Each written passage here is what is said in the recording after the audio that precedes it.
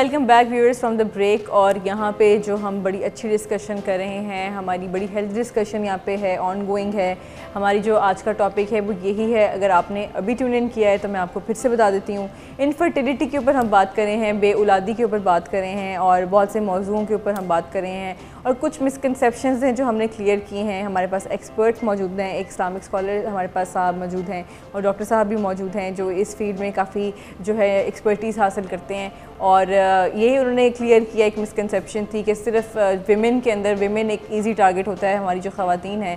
हम यूजुअली जो जहाँ पे वो घर में जाती हैं उनकी शादी होती है जब उनके इन लॉज होते हैं वो भी ज़्यादातर यही कहती हैं कि जी कोई औरत में ख़राबी होगी जिसकी वजह से औलाद नहीं हो रही या अगर हमारा एक सैडली ये कल्चर हम लोगों के वैसे पाकिस्तान में तो इतना प्रैक्टिस नहीं होता लेकिन जितना इंडिया के अंदर होता है जो सत्ती जो जिसको प्रैक्टिस कहते हैं उसमें तो औरतों को जला देते थे वो ज़िंदा जब पैदा होती थी बच्चियाँ।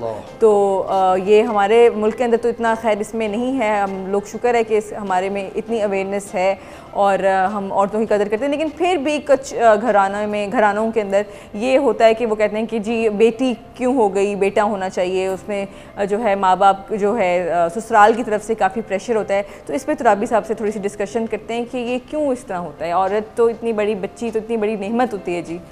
किसी भी घर के असल बात यह है कि अगर मुझे आप तीन मिनट दे दें तो मैं मुआरे में बता दूँ कि औरत को आदमियत ने क्या समझा है। बिल्कुल जी आप यहाँ मैं लफ्ज़ इंसानियत नहीं बोलूँगा आदमियत बोलूँगा। सबसे पुरानी तारीख मिस्र की है वहाँ जुल्म ये था कि निकाह अबूदियत होता था।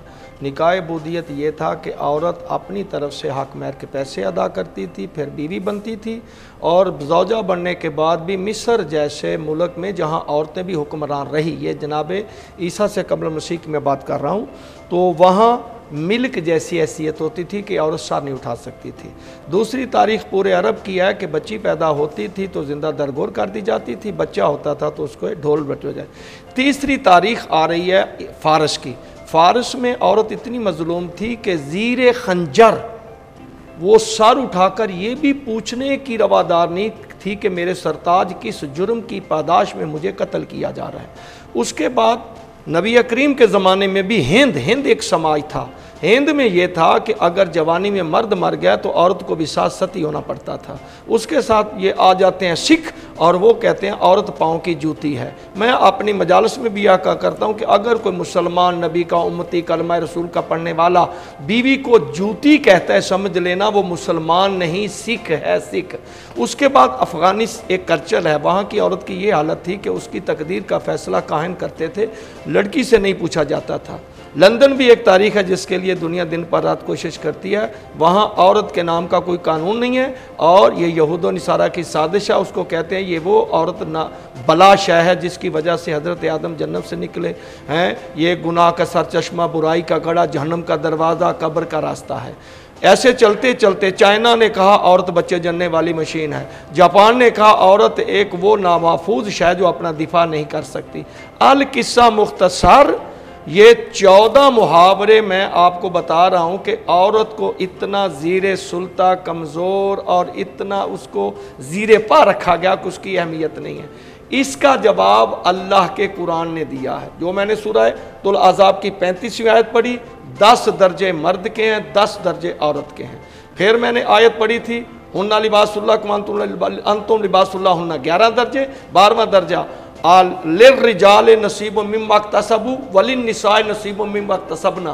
पूरी आलमीन में जहाँ जहाँ मेरी आवाज़ जा रही है, ये वाहद कुरान मजीद की इजाज़त है कि जिस तरह मर्द अपनी औलाद के लिए रिज के हलाल कमा सकता है इबादत है इसी तरह औरत भी घर में ना बैठी रहे वो भी अपनी शरी हदूद में रहते हुए रिज के हलाल कमाकर मेहनत मजदूरी करके नौकरी करके अपने बच्चों का पेट पाल सकती है। जी जी। ये इस्लाम में इतना इख्तियार दिया था। अब इस्लाम के, हमें कुरान समझ नहीं आता तो हम सीरत रसूल की तरफ़ जाते हैं। या रसूल अल्लाह हम इतने बदबख्त थे कि अपनी बच्चियों को ज़िंदा दरगोर कर देते थे। इस्लाम इसके बारे में क्या है? फरमाया, मैं आपको बताता हूँ, औरत के तीन दर्जे हैं। पहला दर्जा है बेटी, तुम ज़िंदा दरगोर करते थे, अल्लाह के यहाँ है, अल बिनता तो रहमत। दूसरा दर्जा, अब बेटी का पहला जब दुनिया में आई है तो रहमत। फिर जब हमने शादी की नबी के पास आ गए, या रसूल अल्लाह हमने वही अल्लाह की रहमत की शादी कर दी और अब उसका दर्जा क्या हो गया? हमने शादी की है। फरमाया, अल्लाह के यहाँ दर्जा और बढ़ गया। आज जौजा तो निसफुल ईमान लजौजे ही। अब ये अपने शोहर के निसफ ईमान की हिस्सेदार हो गई है। दो दर्जे हो गए। साल के बाद अल्लाह ने चाँद सा बच्चा दे दिया। फिर हमें बारगाह सालत में, या रसूल अल्लाह ने हमारी रहमत को जो निसफ ईमान का दर्जा दिया था, आज वह उसकी झोली भर दिया फूल सा बच्चा दिया है। फरमाया, अल्लाह के यहाँ दर्जा और बढ़ गया है। आल जन्नत तो ताहता अकदाम उम्मा हाथ जन्नत तो माँ के कदमों के नीचे तलबों के नीचे है। ये देखो औरत का मकाम नबी अकरम किस अंदाज से बता रहे हैं। और अगर कोई शूर रखता है, इल्म रखता है, बसीरत रखता है तो ख़ुद सीरत रसूल पढ़ कर देख ले कि तमाम अम्बिया इस्तकबाल करते हैं मेरे नबी दो जहाँ का सरदारम्बिया का। लेकिन जब बेटी आती है, इमाम बुखारी रहमतुल्लाह भी लिख रहे हैं कि जब भी जहरा नबी के पास आती थी तो नबी उनके इस्तकबाल के लिए खड़े हो जाते थे। जी ये ये यही तो एक मकाम बताना मकसूद था कि आप इसको बेकदर ना समझें इतना जुल्म ना समझें समझो बेटी औरत का मकाम क्या है। और ये मेरे पाक रसूल की सीरत है। जी जी। फिर जब तक बीबी बैठी है नबी खड़े रहते हैं। फिर और प्यार आगे फिर प्यार भी है साहबा ने एक प्यार भी है। व तकबल हाब यदे और आगे बढ़कर जनाब जहरा के हाथों को ऐसे बोसा देते जी जी। बड़ी इन्होंने तो अच्छी चीज़ें हाँ सारी इस्लाम दे रहा हमें। जी जी बिल्कुल बहुत अच्छी इन्होंने बात की है और जी हमारे साथ एक कॉलर है उनसे बात करते हैं। अस्सलाम वालेकुम। कम कर दें। जी। हेलो।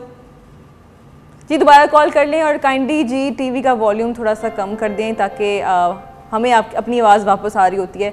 तो आप लोगों ने जो भी सवाल करना है तो टीवी का वॉल्यूम कम करके जी करें। तो जी तुराबी साहब ने बड़ी अच्छी बात की। उन्होंने कहा कि औरतों का बड़ा दर्जा है और उन्होंने ये भी बताया कि सिर्फ़ मर्द हजरात नहीं, अगर औरतें भी घर से बाहर निकल के काम करना चाहें, एक अच्छे डिसेंट वे के अंदर इस्लामिक मतलब उसकी गाइडलाइंस के अंदर रह के तो वो भी, वो उन्होंने कहा कि उसकी भी इजाज़त है एजुकेशन हासिल करने की भी इजाज़त है। तो ये बड़ी अच्छी इन्होंने जो है आज जो मिसकनसप्शन थी, कई लोगों के अंदर होती हैं, सोचते हैं कि क्या इसकी इजाज़त ज़रूरत है या नहीं है तो उन्होंने क्लियर की है।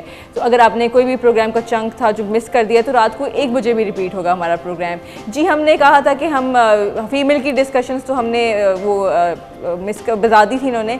तो हमने मेल की वजूहत भी इनसे पूछी थी कि इनफर्टिलिटी के क्या इश्यूज़ हैं। लेकिन उससे पहले जी हमारी कॉलर हैं, हमारे साथ तो उनसे बात करते हैं। असल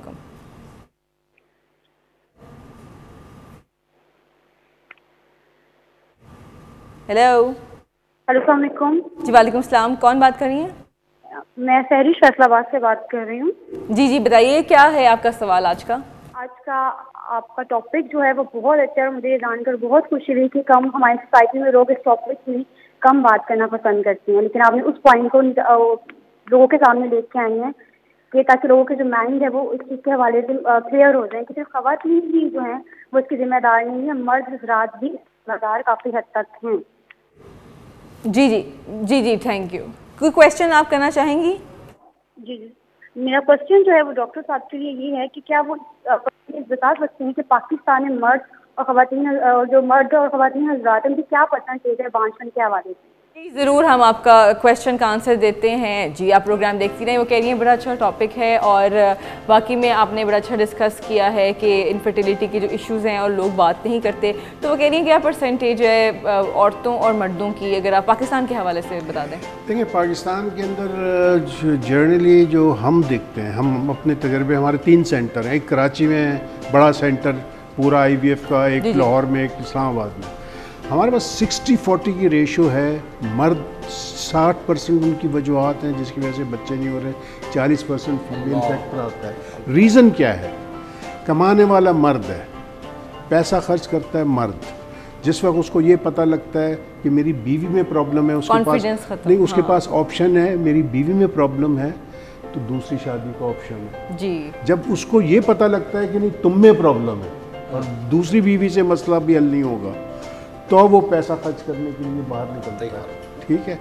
अच्छा ये कम है कि जी मियाँ बीवी के अंदर बहुत अच्छी अंडरस्टैंडिंग हो ऐसे भी मर्द हैं और अपनी बीवी का तहफ़ करते हैं और उसको सपोर्ट करते हैं और उसकी तकलीफ़ में उसके साथ कंधे से कंधा मिलाकर खड़े होते हैं। लेकिन इनकी तादाद कम है।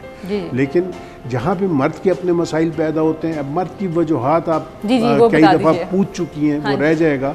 देखें सबसे मतलब है कि वैसे तो सात आठ रीजंस हो सकते हैं मर्द की इनफर्टिलिटी के। उनके भी जेनेटिक रीजंस हो सकते हैं। उसके अंदर जेनेटिक रीजंस भी हो सकते हैं लेकिन जो जर्नली उसके अंदर हम देखते हैं देखें जो मोटी सी एक चीज़ सामने नज़र आती है जो एक रिस्पॉन्सिबल चीज़ है वो जो उसका जेनेटिक कोड ट्रांसफ़र करता है वो स्पर्म है जरसूमा है। जरसूमा जब औरत के बेजे से मिलाप करता है तो बच्चा पैदा होता है उसका जन्म शुरू होता है। ये एक सेल औरत का और एक सेल मर्द का ये दो सेल से ज़िंदगी शुरू होती है जो 2340 टिश्यूज़ बनाती है बॉडी देखें, ये कुदरत है अल्लाह ताला की। तो मर्द के जरसूमे के अंदर अलामतें ये पैदा होती हैं कि उसकी तादाद कम हो जा, होती है, जो रिक्वायर्ड होती है, उससे उसकी मोटेलिटी के इश्यूज़ होते हैं, उसकी उसकी जो है, और ये इश्यूज़ क्यों पैदा होते हैं, उसकी तेज़ रफ्तारी नहीं होती उसके अंदर, वो अपना, अपने आप को कैरी फॉरवर्ड नहीं कर सकता। ये देखें क्या कुदरत की एक शान है कि वो जो एक जो जो जरसूमा है उसको जाना है औरत के अंडे के पास। औरत की अपनी अना और खुद ही अल्लाह ताला ने बनाई हुई है। जो अंडा भी है उसका एक जगह आके नमोदार होता है। और फिर जरसूमे ने वहाँ पे पहुँचना है और उसने जाके उसको फर्टिलाइज़ करना है, तब आगाज़ ज़िंदगी होगा। अगर उसके अंदर ये अहलियत ख़त्म हो जाए, ये अहलियत उसकी मुतासर हो जाए किन किन वजूहत से मुतासर हो सकती है उसकी? सबसे बड़ी वजह है इन्फेक्शन की वजह से। उस इलाके के अंदर कोई सब मिनिमल या एक्सटेंसिव इन्फेक्शन हो जाएगा वो फिट बंदा तो, भी तो हो सकता जी है। जी, वो बस फिट ही होते हैं। वो जर्नली कोई मैनिफेस्टेशन नज़र नहीं आ रही होती लेकिन जिस वक्त टेस्ट होते हैं तो उसके अंदर पता लगता है कि ये वजह है। देखें फिर इसके अंदर बहुत सारे ऐसे हैं जिसकी मतलब है कि एनाटॉमिकल रीजंस हो सकते हैं। स्टेरॉइड्स भी लोग लेते हैं अक्सर मर्द हजरात लेते हैं। जी, उससे- जिम वगैरह करने के लिए। खास खास तौर पर जो टेस्टिस्टेरॉन है जी। ये बहुत बैडली इफ़ेक्ट करता है इस स्पर्मेटोजेनेसिस को स्पर्म बनाने की कुव्वत को। और इनफर्टिलिटी में भी ज़ाहिर है जब स्पर्म आपके बनाने बंदी कर रही है एक दवा तो इनफर्टिलिटी होनी है उससे। आपका एक काम ही डॉक्टर साहब ये तो बहुत लोग यूज़ करते हैं स्पेशली जो स्पोर्ट्स खेलते हैं लोग या जिम के लिए जी तो मेरा स्ट्रॉन्ग स्ट्रॉन्ग यहाँ से बिल्कुल पैगाम है उनके लिए कि प्लीज़ डॉक्टर की हदायत के बगैर अगर आपकी शादी हुई है और बच्चे अभी नहीं है अगर नहीं भी हुई और हाँ, होनी भी है। और होनी भी है तो ये आप काम ना करें। डॉक्टर से ज़रूर रुजू करें। और उससे मालूम करने के बाद ही ऐसी दवाओं का इस्तेमाल करें तो बेहतर है। जर्नली कोई ज़रूरत नहीं है। खाने पीने से और अच्छी सेहतमंद ज़िंदगी बसर करने से चीज़ें ठीक रहती हैं। इसके अंदर देखें लाइफ स्टाइल चेंजेस तमाम वो चीज़ें जो आप स्मोकिंग है वो स्पम क्वालिटी को अफेक्ट करेगी। अल्कोहलिज्म है नशा किसी टाइप का जी। वो अफेक्ट करेगी। ठीक है? आपके केमिकल्स हैं। आपका इन्वायरमेंट है। सड़क पे जो इवन कार्बन मोनोऑक्साइड इतनी निकलती है, ये भी इफ़ेक्ट करती है। इसके बाद देखें जो जिन लोगों के कुछ पेशे हैं, मिसाल के तौर पर रिक्शा ड्राइवर है, उसका जो उसके जो टेस्टीज़ हैं, जहाँ पे फैक्ट्री है, जहाँ पे स्पम ने बनना है, वो हीटेड रहते हैं। तो स्पम मुतासर हो जाते हैं वो नहीं बन पाते। इसी तरह एक नान बाई है वो सारा दिन तंदूर में बैठ के रो, रोटियाँ मतलब उसकी भी मतलब है कि अच्छा कुछ लोग हैं जो फैक्ट्रीज़ में काम कर रहे हैं जहाँ वो एक्सपोज हैं तो पेस्टिसाइड्स या ऐसे केमिकल्स वो उनकी सेहत के ऊपर असर करते हैं। तो एक मल्टीपल फैक्टर्स हैं। इसके बाद एनाटॉमिकल की मैं बात कर रहा था कहीं मतलब है कि ब्लॉकेज आ जाती है उनकी ट्यूब्स के अंदर। कहीं मतलब है कि उनके मतलब है कि जो बाज़ अवत टेस्टिस नीचे ही नहीं उतरते। वो अगर जिसम के अंदर ही रह जाएँ और अनडिसेंडेड टेस्टिस हों तो उनके स्पम बनते ही नहीं सारी ज़िंदगी। ये चंद एक इस टाइप की सिचुएशंस नमदार होती हैं। बात यह कि मेरा ख्याल है कि जैसे कि पहले मैसेज दिया तो उसी वक्त उनको आके टेस्ट कराना चाहिए। और दूसरा सवाल ये कि क्या ये काबिल इलाज होती हैं सिचुएशंस कि कौन कौन सी सिचुएशन क्या ये मतलब है कि दवाइयों से ठीक हो सकती हैं? जी जी हमारे साथ जी एक लाइव कॉलर हैं उनसे बात करते हैं। अस्सलाम वालेकुम। वालेकुम सलाम। कैसी हैं लिया आप सुनाएँ। जी मैं साबरा जमील बात कर रही हूँ कराची से। जी जी क्या सवाल करना चाहेंगी आप? पहले तो मैं ये तारीफ़ करना चाहूँगी कि आपने इतना सेंसिटिव टॉपिक ऑन ईयर इतने मोहताद अंदाज में, माशाल्लाह, बहुत अच्छा आप कर रही हैं, जिससे हमें बहुत अच्छी नॉलेज मिल रही है। जी जी। जी वक्त हो रहा है एक छोटी सी ब्रेक का। ब्रेक के बाद हम आपका जो कॉल है दोबारा सुनेंगे।